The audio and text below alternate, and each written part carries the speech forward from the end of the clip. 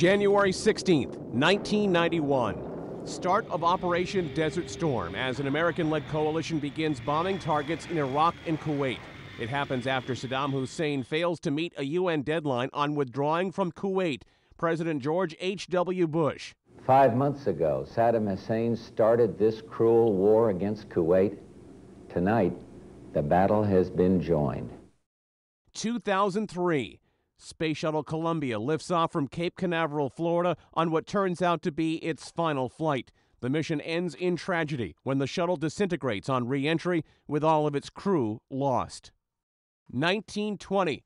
Prohibition takes effect across the United States, barring the sale, manufacture, and transport of alcoholic beverages. The 18th Amendment to the Constitution establishing prohibition is repealed more than a decade later. 1979.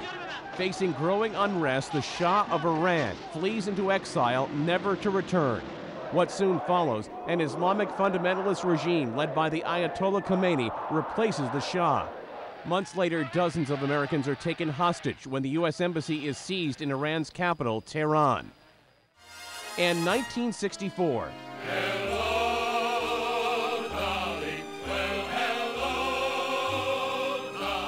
In New York, the musical Hello Dolly, starring Carol Channing, opens on Broadway. Today in history, January 16th, Ed Donahue, The Associated Press.